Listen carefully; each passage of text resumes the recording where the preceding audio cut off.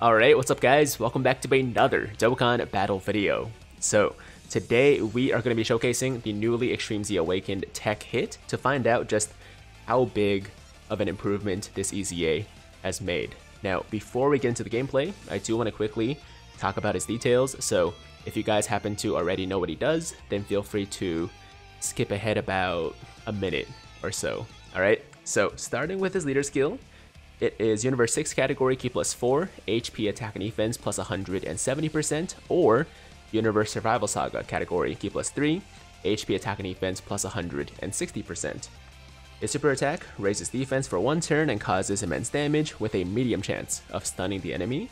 And his passive is attack and defense plus 20% per Universe 6 category ally, attacking in the same turn, medium chance of stunning all enemies when all allies attacking in the same turn are Universe 6 category characters, plus an additional attack and defense plus 160% when performing a super attack, plus an additional attack plus 80% and attacks effective against all types when the target enemy is stunned, attacked enemies attack minus 20% and defense minus 80% for two turns, and high chance of stunning the attacked enemy for one turn. And as you can see, uh, his links are all at level 1 because I basically haven't used this guy since uh, maybe a few months after his release because I was just so disappointed with his performance that I never wanted to run him until now where I have a reason to with the Extreme Z Awakening, right? So that is the Easy 8 TEQ hit. And uh, this is the team we're going to bring into the uh, Warriors, or sorry, Universe 6 Super Battle stage. And the friend here is also rainbowed with slightly better links, not by much though. And uh, he obviously went with a more defensive setup here. So with that said guys, let's jump in, let's do this, and hopefully we get hit on the first rotation. We do. And uh, okay, so I'm probably going to put hit in the second slot. I'm thinking that makes a lot more sense. Actually, I mean, there's only one attack. The thing with Hit is that he's not a very good first slot unit. Like, he's, he's okay in the first slot, as you can see. He still has over 100,000 defense here, but he gets most of his defense boost from a super attack, right? So, um, if that first attack from Tien is a super, we're probably dead. There's like a 90% chance he's gonna kill us. But if it's not a super, then we get to see how good defensively or how good his defense is after these super attacks. So I think I'm not going to use an item. We're going to risk it. Hopefully it doesn't uh, come back to bite us. So here we go. Let's go for Krillin with the first attack. And then we'll go for 18 with Cabba and uh, Roshi with uh, Caulifla. Okay, no super, please. Thank you. Oh my god. oh my god. we took almost 100k from a normal attack. Yeah, so like I said, man, if that was a super, it would have been over for us. It, it would have been over. Over. But luckily it wasn't, so we're good. And uh, as far as hits attack stat goes, that was close to 6 million, right? That was almost 6 mil attack stat on the first turn. And this is without the stuns either he gets an additional 80% attack with a stun. So I can only imagine, um, you know, how much how much attack he would have had if the enemy was stunned. That's why additionals makes more sense for the hit because if he gets the stun with the first super, then the second super will be boosted. So uh, that's how I built my hit. I think that's how most people build their hits, and uh, that's what I would recommend. All right. So uh, on this turn, we don't have to worry about any attacks because as you can see, all the enemies are stunned. And uh, let's go for... Yeah, let's go for Piccolo here. We can probably kill him with one super. And then we will target uh, Roshi, I guess.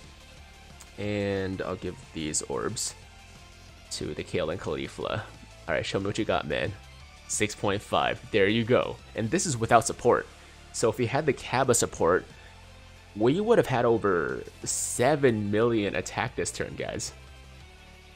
We would have had over 7 million attack, which is pretty awesome. So yeah, I mean, Hit is uh, really good now. It's it's weird to say, but he's an amazing unit now, guys. Not a great first slot unit once again, which is obviously one knock you can have against him, but I mean, at this point, we're really just nitpicking, right? We're really just looking for reasons to uh, criticize him because overall, he's he's really amazing. And if you run him with like a good uh, slot one unit that can, you know, take attacks before they super and put hit in the second slot, like as a slot two unit consistently, then he's to be good to go. Because after he supers, he is ridiculously tanky. You know, he's to have a lot of defense, like close to probably 300,000 when rainbowed. And uh, that is more than good enough for most things in this game, right? So that was the first stage. Uh, pretty good. No items used so far. Uh, second phase, five enemies again. I forgot that uh, this stage was like this. Okay, so I'm thinking we pop an item this turn just because I'm a little bit concerned about uh, that Goku in the first slot. Although if we leave Caulifla there with a dodge chance, she should be okay. But I also want to keep Bota Magetta and Hit together because they share four links. So, hmm, let me think about this for a second. I, I guess we can, let's go for an Icarus. Why not? Just to be safe.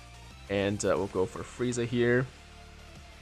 Let's target Gohan with Bota Magetta, and then we'll go for Goku with Caulifla.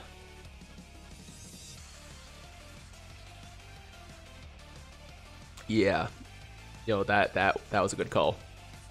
That that Icarus was a good call because 32k with an Icarus, so without an Icarus, uh, easily over 100k, I'm sure. Yeah, probably over 100k. It's it's it's unfortunate. It's unfortunate that he doesn't get more defense in the first slot, but maybe that would have made him too broken. Because I mean, just look at his offense, right? Just look at his damage um, the damage he's doing. Like he's basically one-shotting everybody right now. Ooh. See, that would have really hurt too. Of course, Caulifla does not dodge the super, because why would she, right? Why, why dodge the super when you can just dodge normals and take every super attack? That's kind of how these units work. Um, 108,000. Oh, everyone's stunned. Everyone's stunned. Perfect. So let's go for... Uh, let's take out Goku this turn. Yeah, let's take out Goku, so we don't have to worry about him. I'm pretty sure he hits the hardest out of all these guys remaining. And, uh... Oh my god. oh, no. okay, um... That's... It's a lot of damage, guys.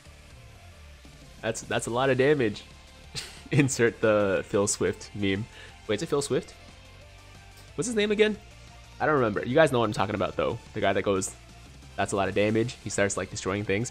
Anyways, uh, that was a lot of damage. That was more than I could have expected. I was thinking, like, maybe we hit 7 mil. But that was close to 8. And this is the hit that doesn't have uh, an attack skill orb. He went more defensive. So if this was my hit in this situation with the level 5 attack skill orb, then we should easily be getting 8 plus, right? It should have been over 8 plus easy, so... Okay. So so that that that's what hit's doing now. this is this is what what what hits got going on after the EZA. Um I'm really happy about this guys.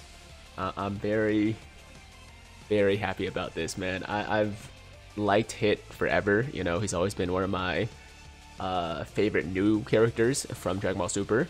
Um, and I've just felt like it was a shame that he never had this like really good, you know, character in in Dokkan, really good unit in Dokkan, and now we have it.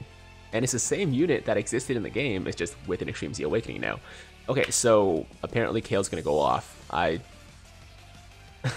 I just wanted her to take a couple of attacks so that Hit didn't get killed, but she decided to finish off 17 by herself, which I guess is fine. Okay, so last stage, only two enemies. Now one of them is a Beerus, but at the same time, they're both stunned. So we're good to go. Let's uh, actually go for Beerus because we do have type advantage, or rather uh, attacks effective against all when the enemies are stunned. So we should still be able to do some really good damage to him, especially with the support here. 7.8 once again. It's a shame that my hit's not here because it would have been over 8 million, guys. It would have been over 8 million easy. Uh, ooh, okay, so we didn't quite kill Beerus, but we came pretty close. We came pretty damn close. I think Caulifla might be able to finish him off here. If she gets a crit, maybe. Oh, so close. So close. Alright, um... Oh, we got this done again. Alright, so I think in this case we go for Whis to potentially take him out, and then the attack after can uh, finish off Beerus. So we are gonna two turn this last phase, guys. Yeah, two turns is all it's gonna take to finish off Beerus and Whis.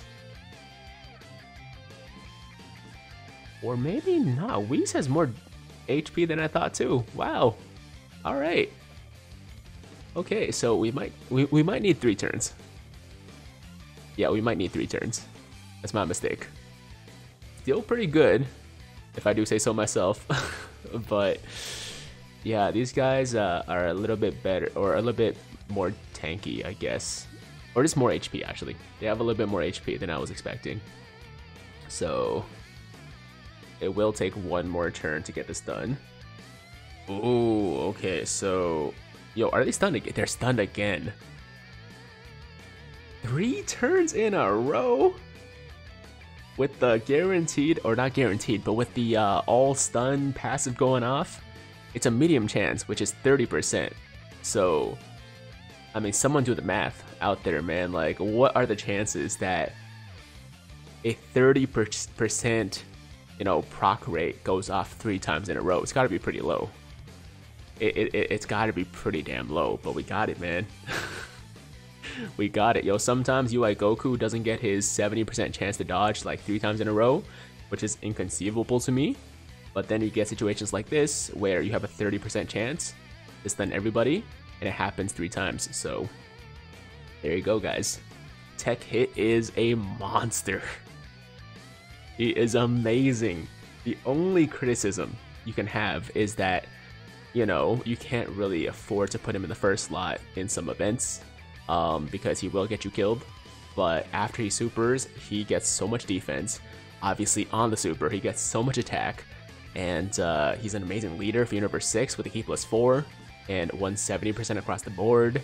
Um, he has an insanely high chance to, to uh, stun, right? He has a 65% chance, I believe, uh, on average to stun the attacked enemy and of course, if you're running a Universe 6 team, then you have that 30% chance to just stun everybody um, before you even attack. So that can be really clutch, as you just saw in the last phase here.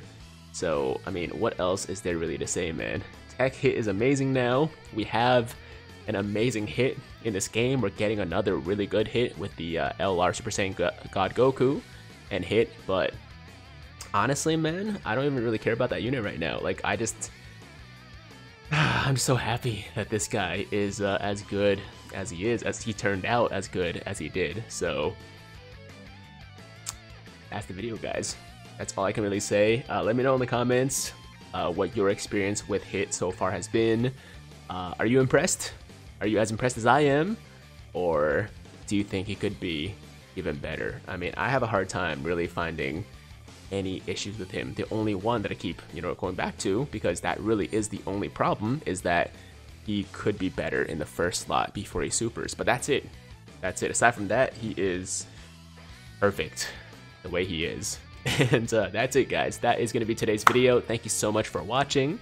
As always, if you liked today's video, then make sure to like the damn video. And if it's your first time watching me, first time to the channel, you like what you see, then definitely hit that big red subscribe button to Join the Tiger Squad now, and while you're at it, hit that notification bell too, so that YouTube knows you want to stay up to date with all my latest content.